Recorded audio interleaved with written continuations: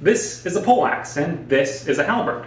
But the funny thing is, halberd means pole axe, but pole axe means hammer axe. Isn't language fascinating?